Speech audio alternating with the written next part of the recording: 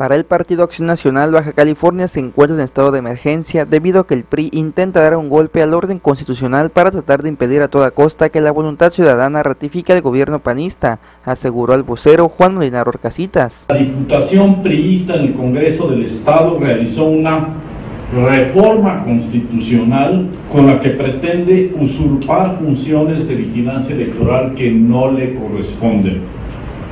La reforma que en su proceso violó todas las normas aplicables, pretende poner bajo el control del Congreso, es decir, bajo la facción priista que lo domina, la Fiscalía Electoral del Estado. Pidió al dirigente nacional del PRI, César Camacho, responder si su partido autoriza, ratifica y avala la conducta de su partido en Baja California. Pero no deja de preocupar que el PRI, en su desesperación, se atreva a conducirse de una manera tan abiertamente autoritaria e ilegal.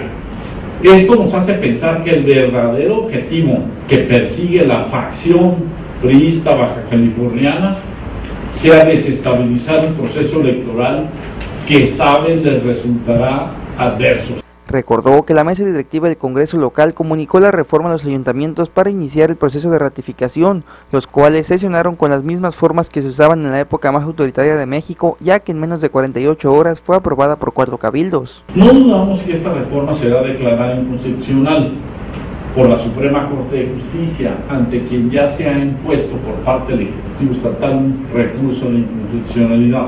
Molinar Orcasitas confió en que el máximo tribunal del país recomponerá el camino de la legalidad y de la constitución que se ha vulnerado. Sin embargo, alertó que ya se emitió una convocatoria para designar al nuevo fiscal, lo cual también es ilegal, pues la reforma estrictamente no ha entrado en vigor, pues no se ha publicado en el Diario Oficial del Estado, conforme lo indican los artículos 33, 34 y 49 de la Constitución.